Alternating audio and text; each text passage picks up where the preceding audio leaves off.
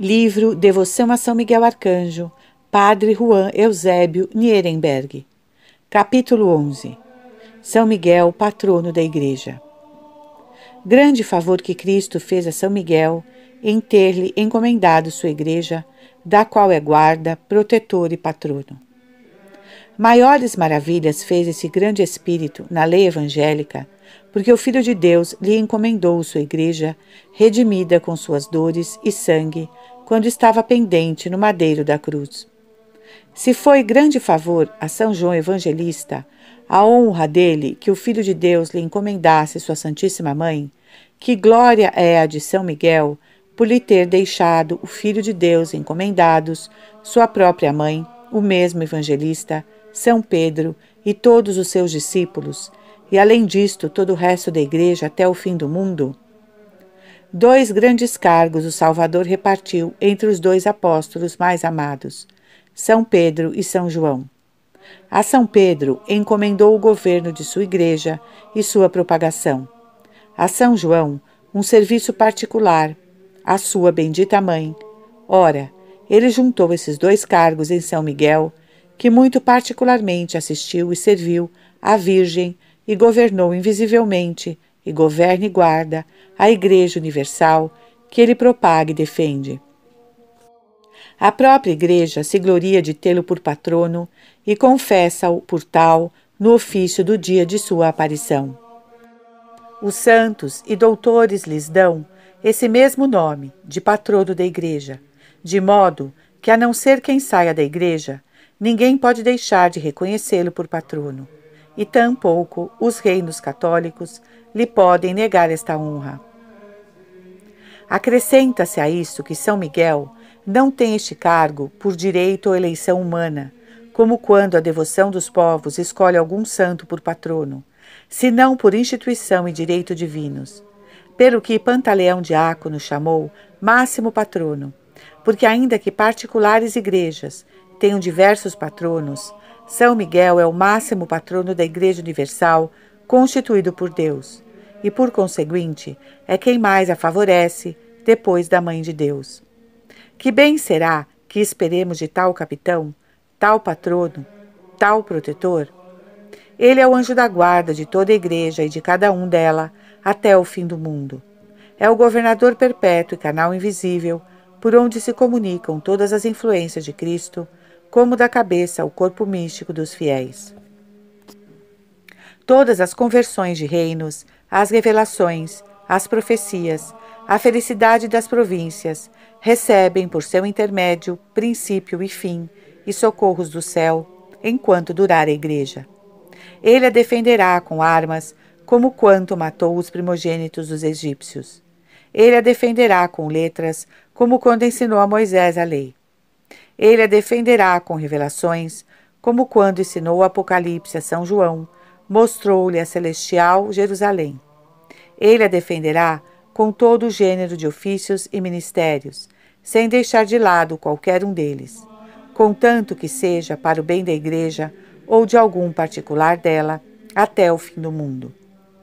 Porque, se com somente a sinagoga judaica São Miguel esteve tão finamente, como andará com a Igreja evangélica, sendo ela esposa formosa e sem mácula do Filho de Deus, que a encomendou com seu sangue? Para que, assim como a lei escrita foi publicada por este supremo anjo, assim também a da graça ele a estendesse pelo mundo e aguardasse, e dispusesse os corações dos homens, para que neles se imprimisse, como dispôs as tábuas de pedra, para que nelas se esculpisse a lei escrita. Foi revelado a Hermas, discípulo de São Paulo, a forma como faz isto São Miguel. Viu um salgueiro tão grande que cobriu os campos e os montes, debaixo de cuja sombra estavam todos os chamados e escolhidos de Deus para que viessem à sua igreja. Junto à árvore estava um grande ministro do Senhor, de suma claridade e majestade, o qual, com uma grande foice, tirava ramos do salgueiro e repartia-os à multidão de pessoas que estava ao redor, dando a cada uma sua vara do tamanho de um cotovelo. E depois que todos receberam a sua, deixou a foice, e a árvore ficou tão inteira como antes. Sobre essa maravilha, ficando muito espantado Hermas, disse-lhe um anjo que o acompanhava: Não tens que espantar-se com isso, porque se te dará a entender o que significa. Viu depois aquele grande anjo que havia repartido as varas, o qual os tornava a pedir aos mesmos que as tinham recebido. E como as ia cobrando, as considerava como estavam.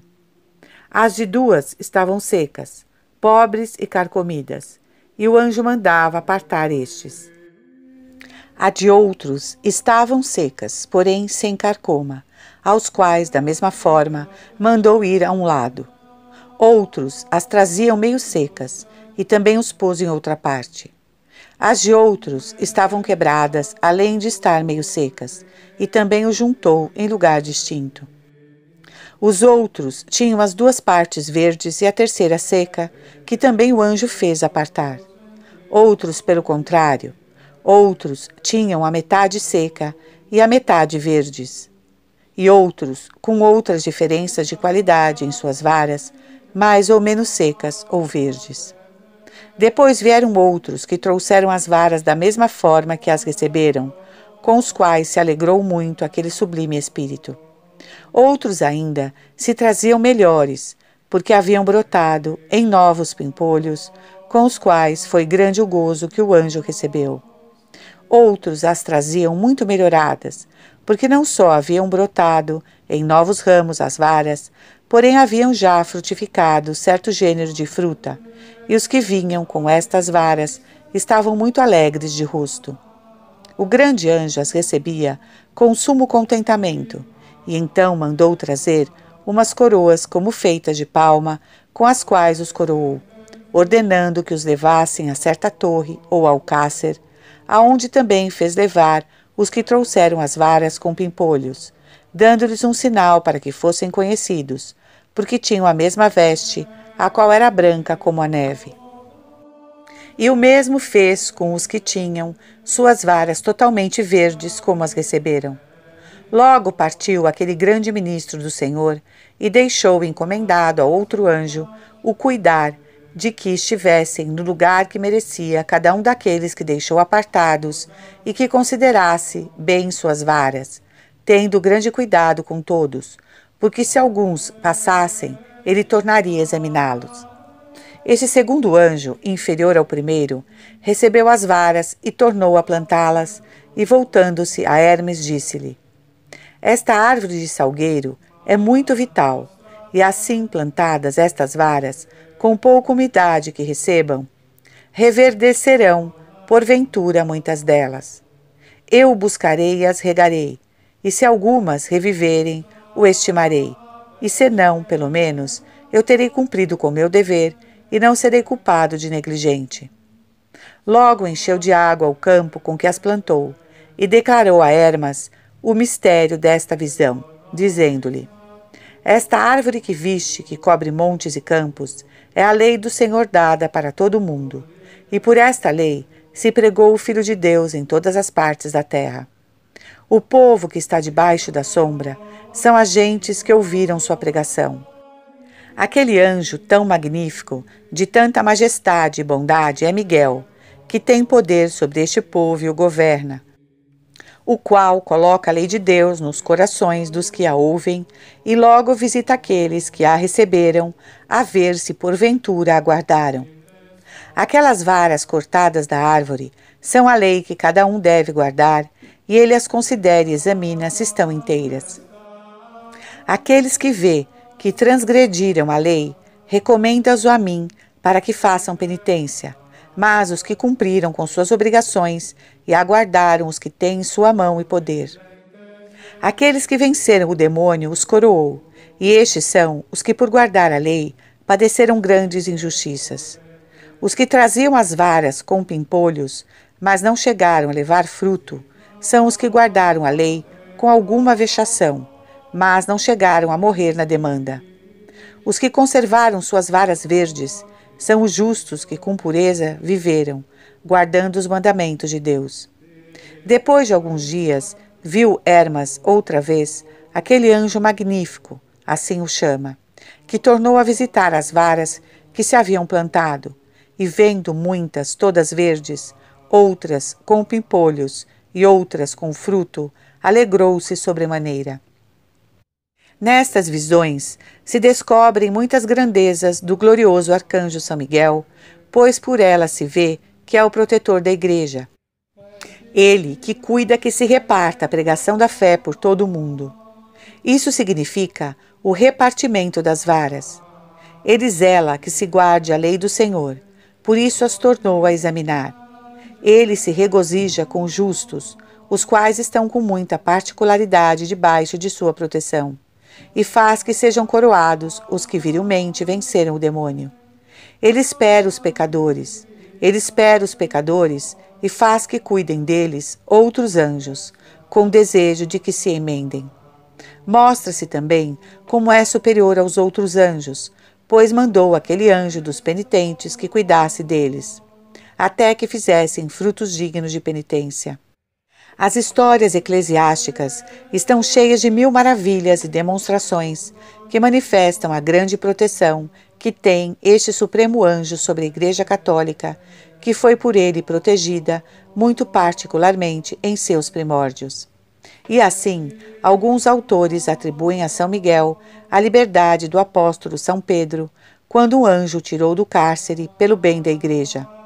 A morte de Herodes quando feriu um espírito do céu por querer honras divinas, a assistência a Cornélio Centurião, a providência com o eunuco da Etiópia para que recebesse o batismo, a transportação de São Felipe a Azoto, e o que é ainda mais a conversão de São Paulo Apóstolo e o ser o principal ministro da Assunção da Virgem Santíssima aos céus, além de outros raros sucessos na propagação e defesa da Igreja.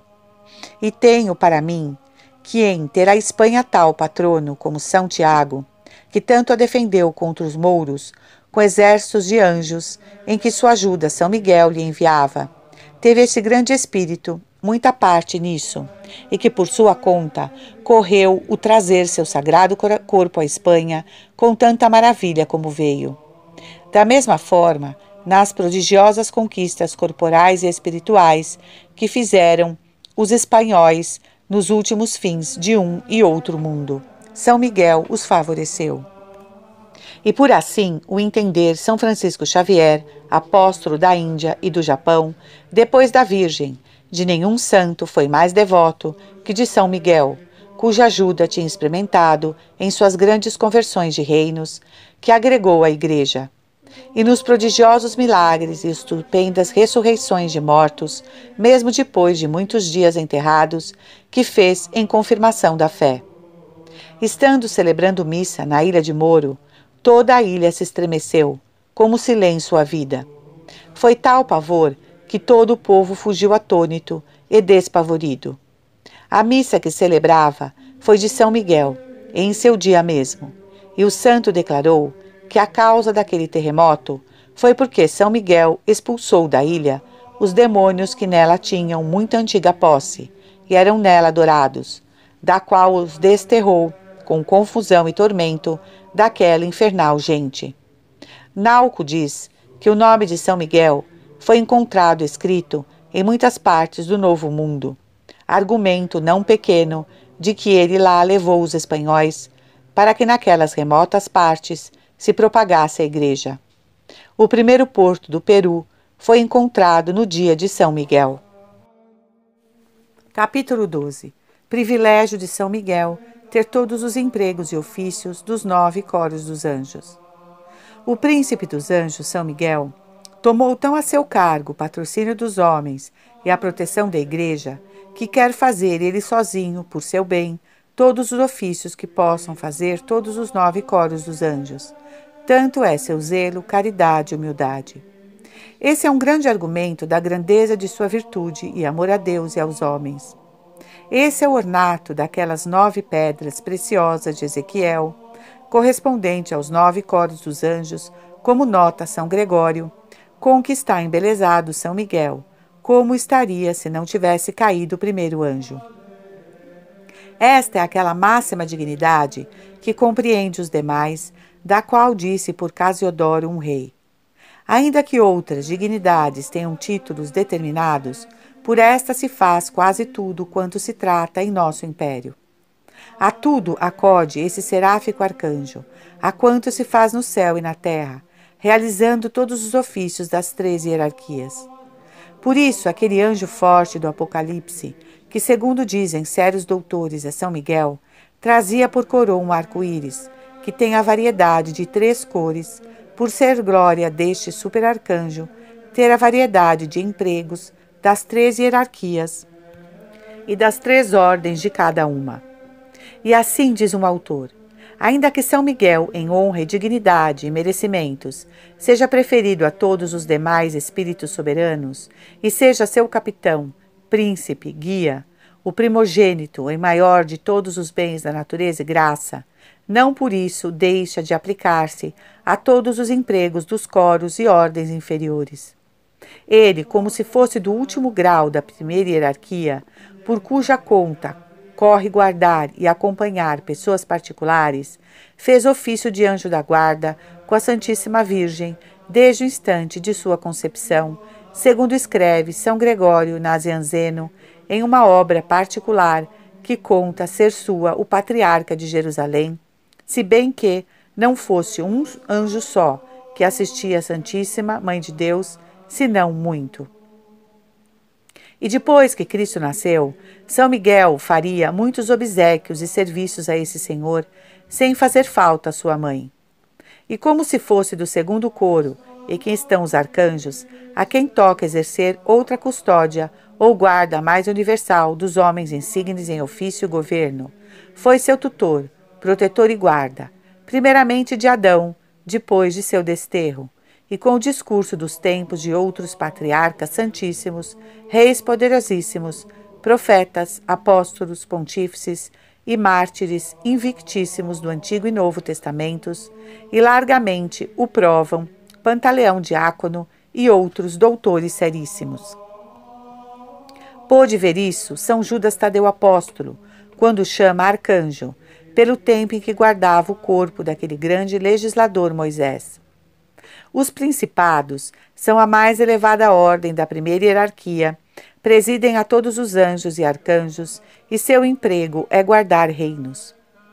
Por empregar-se nisso, São Miguel, o profeta Daniel dá-lhe o apelido de príncipe, no tempo em que exercia o ofício de protetor e guarda do povo hebreu. E agora, com mais razão, ainda merece este nome, porque Cristo, desde a cruz, o fez patrono, protetor, tutor de todos os reinos e estados da Igreja, como antes o era da sinagoga. Esse ofício o faz com grandes vantagens, porque os outros principados guardam comunidades e reinos particulares, e assim são chamados na Escritura príncipes dos persas ou dos gregos, os anjos protetores da Grécia e da Pérsia. Mas o ofício de São Miguel é ser guarda, proteção e tutela não de um reino e província, senão de todos os reinos e estados da Igreja. E esta é a causa pela qual, no livro de Josué, se o chama príncipe do exército do Senhor, sem limitação alguma. Na segunda hierarquia, tem sua particular eficácia as potestades contra os demônios, refreando-os pessoalmente em si mesmos e guardando toda a linhagem humana para que, com a violência e artimanha de tais inimigos, não se perturbe sua felicidade. Os três coros baixos da primeira hierarquia resistem aos demônios, iluminando e fortalecendo os homens. As potestades, porém, refreiam e atam os demônios em si mesmos. Daqui se conhece com quanta preficiência São Miguel executa os ofícios deste quarto coro, pois dele se diz no Apocalipse que com os seus lutava contra o dragão, e com, por sua ordem, foram atados os anjos maus nas correntes do rio Eufrates. Dele escreve o apóstolo São Tadeu que altercava e disputava com Satanás. Sobre ele canta a igreja que é sua particular glória desfazer as forças do demônio. As virtudes, que são o quinto coro, têm sua custódia sobre as naturezas corpóreas e a elas pertence o movimento dos céus com todos os astros e planetas, dos quais como de causas universais, se seguem seus efeitos singulares, e por isso se chamam virtudes nas Escrituras do Antigo e Novo Testamentos. É próprio deste coro conservar e amparar o mundo e os homens com prodígios e milagres, pelo que é o ordinário fazerem-se os milagres por meio das inteligências desta ordem. Que ilustre seja neste emprego São Miguel, consta pelo que dele reza a Igreja, tomando-o de São Gregório. Sempre que se faz o milagre na Igreja, o executor é São Miguel. Vendo isto, Pantaleão faz uma longa oração dos milagres deste santo arcanjo e atribui-lhe em particular todos os que se fizeram no Antigo Testamento. Ele foi quem fez as maravilhas do Egito para resgatar o povo santo, quem o guiou com a coluna de fogo pelos desertos e quem lhe abriu os mares, congelando em muros de cristal seus abismos, e afogou os exércitos do Faraó. Foi ele quem adocicou as águas amargas e tirou fontes das pedras, e dividiu milagrosamente o Jordão, e derrubou as sete muralhas de Jericó, e deteve o sol e a lua na batalha de Gabaão e matou tantos milhares de homens na de Senaqueribe e executou todos os demais milagres que se contam. No Novo Testamento, a Igreja canta e ensina que a quantas obras prodigiosas, de pública ou secreta providência, se fazem, é enviada esta soberana virtude. A ela se atribuem as maravilhas que se fazem e hão de ser feitas até o fim do mundo. Todos esses prodígios e milagres nos ensinam quão perfeitamente faz São Miguel o ofício do coro das virtudes. Pelos ofícios que São Miguel exerce de todas as ordens angélicas, que até aqui dissemos, Pantaleão pronuncia aquela sentença. Miguel, que está nos céus e dá volta pela esfera aérea como velocíssimo raio, e em um momento percorre toda a terra que está debaixo do sol e visita os bons que estão aflitos, recreia-os e consola-os. As dominações, isto é, os que com excelência se chamam senhores ou senhorios entre os anjos, não têm por seu principal emprego o das obras exteriores e visíveis, nem lhes toca a execução delas, mas presidem a todos os coros e ordens inferiores como ministros da providência e graça, mandam aos anjos, arcanjos, principados, potestades em virtudes, nesta parte de nenhum outro coro ou ordem são mandados. Como se São Miguel fosse dominação, exercita na igreja todo o senhorio. Estão à sua disposição todos os anjos, como se vê no Apocalipse, onde são chamados ministros seus, e nos ofícios eclesiásticos se nomeiam seus soldados. Na terceira hierarquia estão os tronos, querubins e serafins. Todos os três assistem à Divina Majestade e se ocupam em seus louvores, não tendo por principal emprego atender às obras da Divina Providência. Une São Miguel com os empregos e exercícios passados, os da última hierarquia. Os tronos, que são o sétimo coro, servem, segundo São Gregório, para exercitarem-se neles e por eles os juízos divinos são tribunais de Deus, juiz, e os principais ministros de sua judicatura. O glorioso São Miguel tem este ofício e emprego por si, porque ele é juiz e presidente que dá sentença de salvação ou condenação eterna a todos os que morrem. Ele se chama prefeito do paraíso, porque sem cédula e sentença sua, ninguém será nele recebido. Ele é quem há de chamar com temerosa trombeta a todos os séculos para que venham a juízo, e quem levará a cruz à vista de todas as nações a Jerusalém, para que, em presença de tão grande misericórdia, se abone a rigorosa justiça que se há de executar no último dia. Isso ensina a Igreja quando chama alferes, porque leva a bandeira de nossa redenção. O oitavo coro dos querubins tem esse nome lugar por avantajar-se no conhecimento das perfeições e obras divinas e estar nos principais instrumentos por onde se comunica a sabedoria às demais criaturas que têm entendimento. São Miguel é a quem a Igreja atribui todas as revelações e altos conhecimentos que têm seus apóstolos, evangelistas, doutores e profetas, e por isso em suas festas se lê o princípio do Apocalipse, em lugar de sua epístola, porque, ainda que não seja nomeado ali, nem em algum dos capítulos próximos, mas como se diz que um anjo significou, revelou, ensinou a São João o Apocalipse, supõe-se que tão alta doutrina não se encaminhou por outro que não São Miguel. O nono e supremo coro de todos é os do serafim, que se avantajam aos demais no amor àquela infinita bondade de Deus nosso Senhor. Dão a São Miguel o título de serafim muitos doutores, seguindo o Pantaleão diácono na homilia que dele faz, e os padres e testemunhos da Igreja que ensinam ser ele quem venceu Lúcifer no céu, como mais elevado dos espíritos bem-aventurados, do qual já dissemos.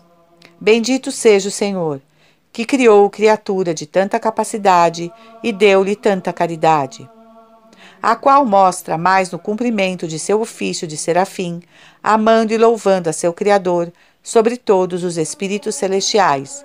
E assim, diz Pantaleão Diácono, Miguel tem o primeiro lugar entre os milhares de milhares e dez mil milhares de anjos e muito de perto e sem nenhum espanto, canta aquele admirável hino, três vezes santo. Do que repara um doutor, aquela palavra, sem nenhum espanto, dizendo que denota uma suma excelência de São Miguel, pois estando os demais espíritos como atônitos diante da majestade de Deus, ele se diz que não se espanta, declarando-se por este caminho sua inexplicável grandeza e capacidade de luz divina pelo que diz Ruperto, são muitas, com excesso e mais das quais se podem dizer as coisas que por intervenção deste príncipe dos anjos se fez.